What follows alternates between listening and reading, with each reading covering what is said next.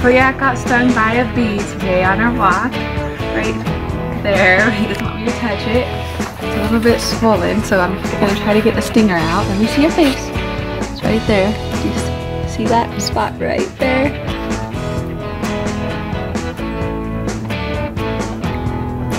You're okay. So much fur. Don't want to get his fur.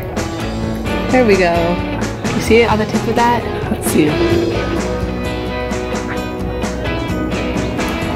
boy. Say bye. You're such a good boy. Yeah, he's happy. Stinger's gone. He's happy. It was so sad too. He was just walking, minding his own business, and there was a bee on a flower. And the bee landed on his cute little face right there, and he was shaking his head and batting at it, and he even tried to roll on the ground while we were walking, and bee decided to sting him instead. But now he's okay.